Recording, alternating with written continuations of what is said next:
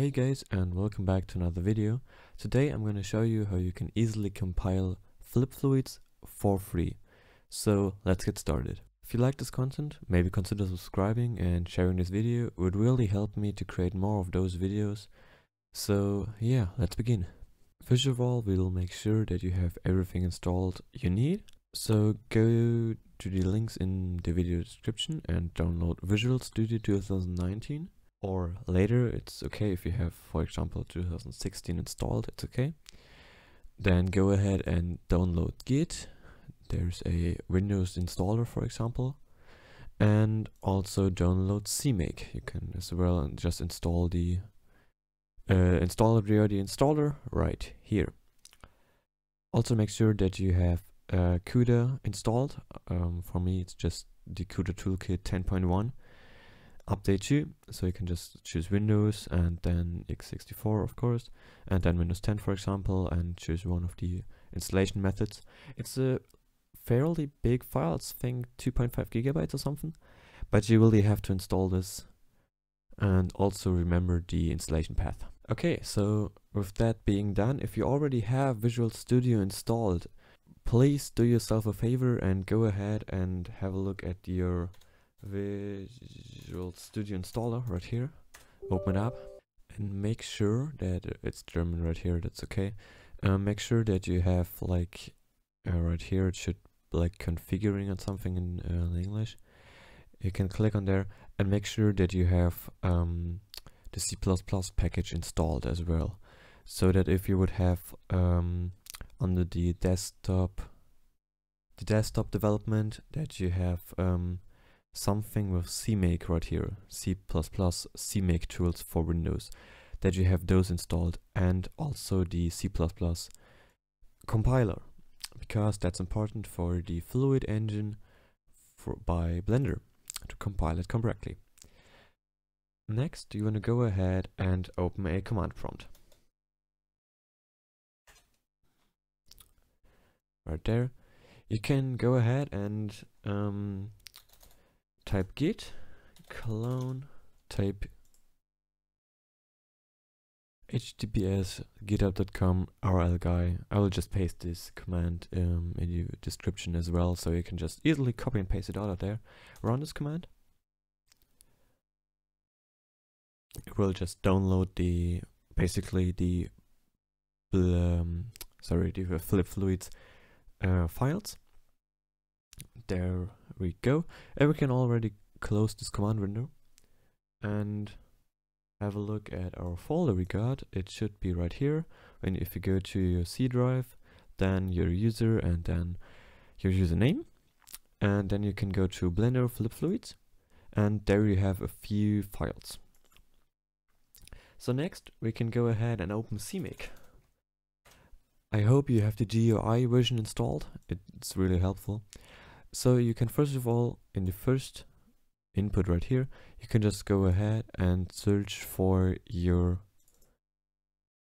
the download you you basically download it. So the Blender Flip Fluids uh, folder right here. Click on choose the folder, and what I personally like to do is just never mind.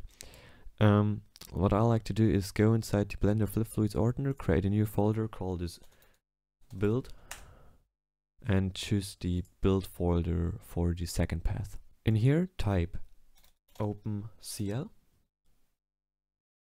I just misspelled this. OpenCL, right this, like this. So open and then CL. Everything close and then advanced, check advanced and click on configure. Choose your Visual Studio version you have installed. Just make sure that you have one of those versions and then click on finish. It will then start generating or actually compiling already stuff and if it's like erroring um, we'll have this box right here because you searched for OpenCL and then you can check this thing right here where it says with OpenCL and then click on generate again. It will create a bunch of errors but eventually it should find your CUDA version, which is right here, C uh, 10.1, and then also the OpenCL library inside of the CUDA version. If, right here is everything fine, you can click on Open Project. Then the Visual Studio part comes, where it gets where it gets a bit nasty. So right here you will need your CUDA OpenCL path. You already have it right here. That's the path, you can just copy it out of here, you will need. In your case it could also be CUDA version 9 for example, or just a completely different path. But it should be the opencl.lib file you have in some kind of CUDA directory. That's important because now we can go into Visual Studio again, right click on Blender Flip Fluids, Blender PyFluid and PyFluid. So right click right here and click on properties. Go to linker and then input. Go right here on this little check mark or on this drop down menu, click on edit and then select this um, this path right here and replace it with the CUDA path we copied earlier. So just make sure you have your opencl.lib file right here. Click on OK. Okay, it's in German in my case, sorry, but just go through Blender Flip Fluids, Blender PyFluids, also important. So I can edit, replace it, click OK, OK. And then last one is the pipe PyFluid. You have to edit, again click on this little drop down, edit, and replace it. Click on OK, OK, and there we actually go. Now we can go to build, build solution, and don't panic, it will drop uh, loads of errors. Like seriously, it will actually um, don't even finish because there will be some errors. Or actually many errors. Just let it run through and we'll see us when it's finished. Okay, so as you can see it says build failed because there just one directory succeeded. So we can go to build clean solution and now go ahead and click on build solution again. Now it should give us a error window where it says which errors happened basically so that we can then go ahead and manually fix those errors. We don't even or I don't even know why those errors happen but apparently it's not programmed very well or something. I don't know. Still we can go ahead and see that there are a few errors. They are all basically the same, so it says min or max identifier not found or min is not a member of std. Basically what happened here is that in those files, in those C++ files, things were not imported correctly. So if we would double click on one file that um, has this error, it could be min or max, you can double click on this file and it will open up. Then you can just scroll completely up, even though the error might be something a bit down, and go to the include section. There should already be a few includes, and just make a new line, type hashtag include, and then in those HTML brackets, type algorithm, like so. You can just copy and paste um, this command everywhere, just sorry where this um, this error happens.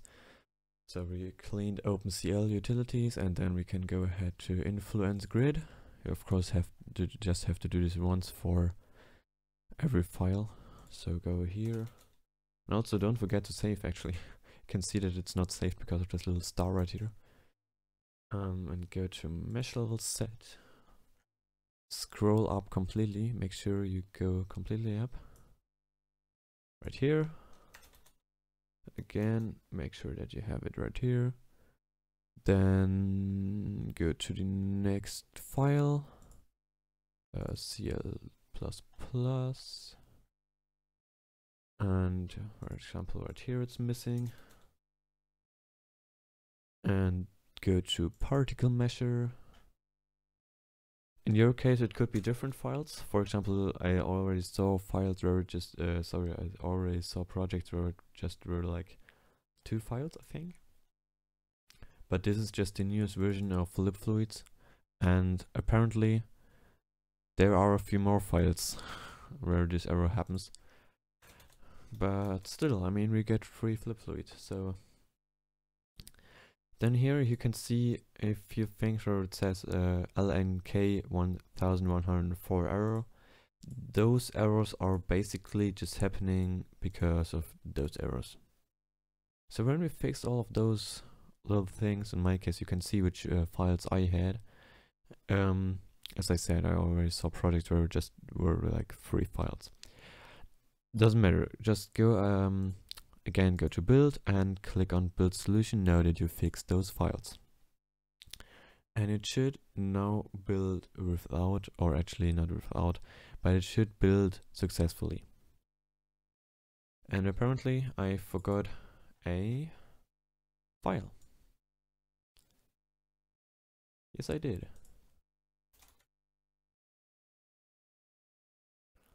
So if we would now go ahead and go to build, sorry for this like little thing right here, go to build solution. And now it says build succeeded down here, in that little blue line. So if we would now go again into our Blender Flip Fluids folder, go to into our build folder, we can see we have a bunch of stuff here, but we're interested in the Blender Flip Fluids ordner folder right here, not the one of the dot directory, but just this Flip Fluids ordner folder, sorry, whatever, and then this flip fluids underscore add-on folder. This is our add-on. Make sure that it actually really did build this thing successfully, we can double click and make sure that there, there are some files in here. Go to pyfluid, lib, and make sure that this DLL file right here is there. This blpy fluid.dll file is here. There is one manual fix we have to do before we can use this add-on. Go back to your pyfluid folder and search for pyfluid.py. Right click. I'm gonna edit this with idle, but you can literally edit this with anything. You could even edit this with just your basic notepad. Scroll down till you find this definition right here with the system um yeah basically where it asks which systems um this is. And go to windows or if you are on linux go to linux and delete the first three characters. So lib in my case. So that there is just blpyfluid.dll if you noticed this basically is just a file where we already looked in lib and then bl pyfluid. Just make sure this name of this DLL file is in here.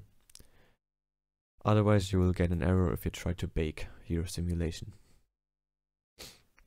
So make sure you're safe and can create out of idle. You can already close um, you can already close Visual Studio. And or the last step we now have to do is go to our Flip Fluids add-on folder and copy it. And so that we copy this um, folder now, we can press Windows button R as a combination and type percent app data percent. Press enter. And now go to Blender Foundation, Blender 2.8, scripts, add-ons, and now we are in our add-ons folder where all where our, all our add-ons are installed, sorry. Um, and there we can just paste our flip fluids folder. So it's right in here. Um, so basically if we would now start blender we can go to edit preferences search for flip fluids and it's already activated in my case but as you can see it works perfectly fine. And we could for example also make this thing our fluid um, duplicate it scale it up make this our uh, make this our domain sorry not our fluid but our domain and make this our fluid and basically we could go ahead and click on bake. There you go, you have fully flip fluids and you compiled your first plugin. I hope you liked this tutorial. If you did, maybe consider subscribing and sharing this video would help me so much continuing these videos. And if you have any questions or errors during this process, feel free to ask in the comments below and will I make sure that I'll answer or maybe other people in the comments will answer your question. So, see you in the next one.